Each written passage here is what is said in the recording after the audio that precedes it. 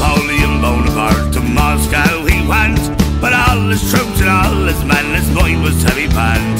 To take the Russian country, how they were full in pride, but the Russians fought against them and they sounded them destroyed. was in a little while that the Russians did attack against Bonaparte and all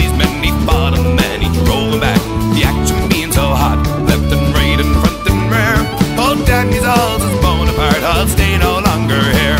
Those warlike lads of Russia, they all in one mind. Made Bonaparte to run and leave his troops behind. Those warlike lads of Russia, they fought